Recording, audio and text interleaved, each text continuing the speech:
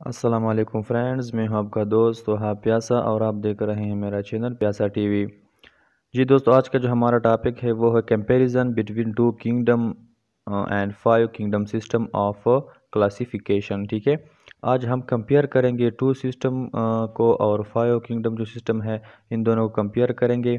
ठीक है? तो चलो वीडियो को स्टार्ट करते हैं। वीडियो अगर पसंद आए तो वीडियो को लाइक प्लीज़ ज़रूर कर देना और अगर चैनल पे आप नए हो, अभी तक सब्सक्राइब नहीं किया तो चैनल को सब्सक्राइब करें, साथ में बेल आइकन ज़रूर प्रेस करें।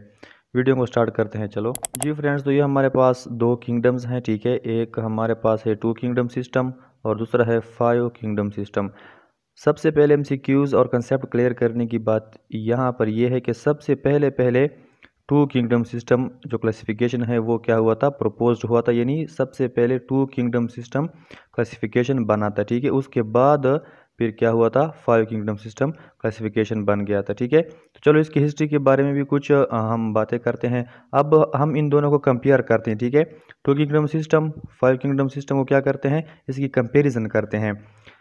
सो so, सबसे पहले हम आते हैं टू किंगडम सिस्टम के इस साइड पे। It was propose by Carolus Linnaeus in 1751 ठीक है, ये किस साइंटिस्ट ने डिस्कवर किया था प्रपोज किया था? कैरोलस लेनियस एक साइंटिस्ट था, उसने क्या किया था? प्रपोज किया था मतलब बनाया था। कब बनाया था? सत्रह सौ इक्यावन में बनाया था, ठीक है? अब हम आते हैं फाइव किंगडम सिस्टम की डिस्कवर की तरफ़। It was propose by Robert Whittaker in 1969 ठीक है?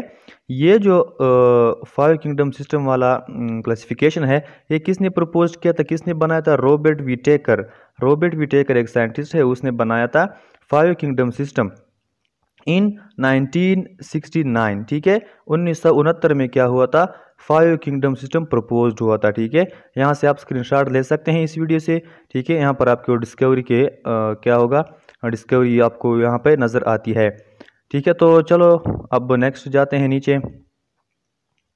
हाँ ये हमारे पास टू किंगडम सिस्टम वाला साइड है ये लेफ़्ट साइड और ये राइट जो साइड है हमारे पास फाइव किंगडम सिस्टम वाला साइड है ठीक है? Two kingdom system five kingdom system अब आते हैं टू किंगडम सिस्टम की तरफ़। Organism are classified into two kingdoms, ठीक है?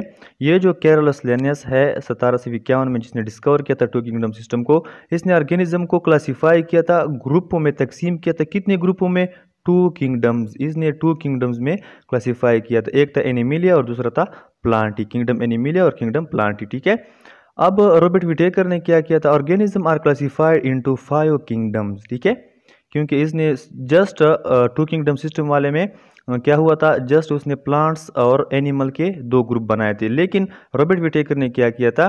आ, उसने फाइव किंगडम सिस्टम बनाया था और जितने भी ऑर्गेनिज्म थे उनको क्लासिफाइड किया था। ग्रुप में तकसीम किया था ग्रुप में रखा था। लेकिन कितने ग्रुपों में? फाइव किंगडम्स में रखा था ठीक है?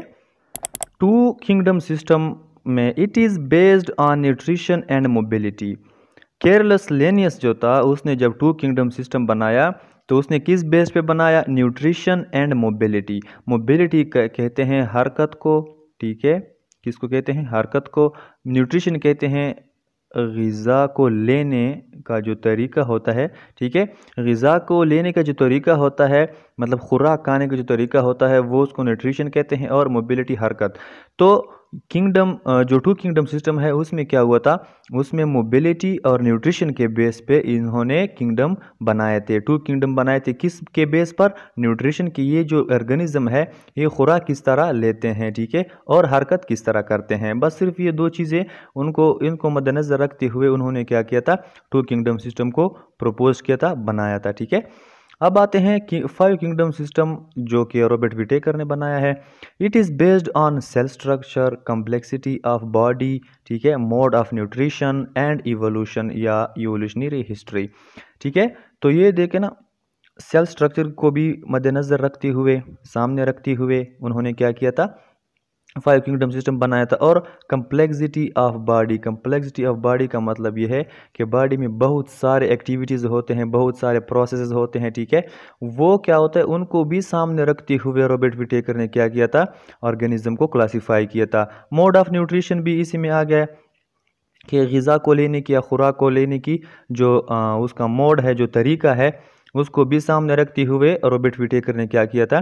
क्लासीफाई किया था ऑर्गेनिज्म को फाइव किंगडम में। एंड इवोल्यूशन इवोल्यूशन किससे कहते हैं कि ये ऑर्गेनिज्म कहाँ से इवॉल्व हुआ है, कहाँ से आया है, कहाँ से पैदा हुआ है? तो ये इवोल्यूशनरी हिस्ट्री या इवोल्यूशन जो है, ये भी रॉबर्ट विटेकर ने सामने रख कर क्या किया है? ऑर्गेनिज्म को क्लासीफाई किया है। ठीक है? जबकि इस तरफ़ जब हम आते हैं तो सिर्फ़ जस्ट न्यूट्रिशन एंड मोबिलिटी को केरल लेनेस जो साइंटिस्ट था, उसने उसने सामने रखते हुए क्या किया था? ऑर्गेनिज्म को क्लासीफाई किया था।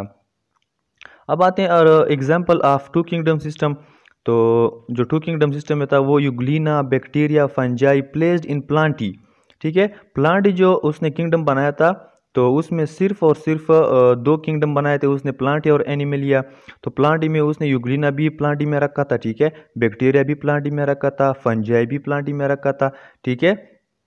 लेकिन ये है, गलत बात है क्यों? क्योंकि which is questionable due to certain reason ठीक है? ये कुछ रीज़न की वजह से क्या है? क्वेश्चनेबल है, इस पे सवाल उठ सकते हैं। और सवाल किस तरह उठ सकते हैं? युग्लिना युग्लिना एक ऐसा ऑर्गेनिज़म है ठीक है, जिसके अंदर प्लांट की भी खसूसियात मौजूद है करेक्टर मौजूद है और किसके एनिमल की भी मौजूद है, ठीक है? बैक्टीरिया इसी तरह है, ठीक है?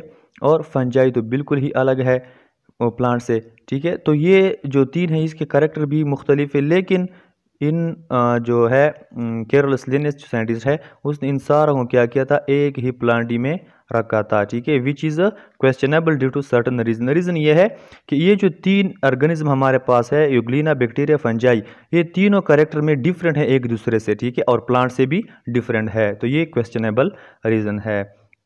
अब हम आते हैं फाइव किंगडम सिस्टम की तरफ़। Organism are better placed on the basis of body cell structure and evolution ठीक है? रॉबर्ट विटेकर ने क्या किया है? ऑर्गेनिज्म की बॉडी शेप को भी देखा है, सेल स्ट्रक्चर को भी देखा है, एंड इवोल्यूशन को भी देखा है कि ऑर्गेनिज्म कहाँ से आया है। ठीक है? सेल स्ट्रक्चर को भी देखा है कि इसका सेल स्ट्रक्चर किस तरह है, बॉडी शेप को भी देखा है। ठीक है? तो इसने क्या किया था? बेटर प्लेस्ड, बेहतरीन तरीके से, अच्छे तरीके से ऑर्गेनिज्म को क्या किया था? क्लासीफाई किया था फाइव किंगडम सिस्टम में। जी फ्रेंड्स, उम्मीद है कि वीडियो आपको पसंद आई है और आपको समझ भी आई होगी। तो इंशाल्लाह मिलते हैं नेक्स्ट वीडियो में, तब तक के लिए इजाज़त है, अल्लाह हाफिज़।